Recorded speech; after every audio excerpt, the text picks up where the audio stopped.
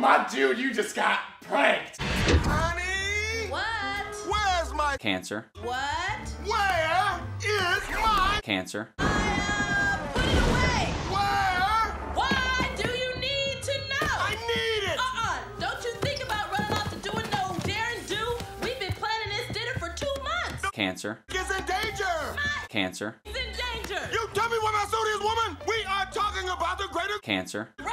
Cancer. I am your wife. I'm the greatest Cancer. you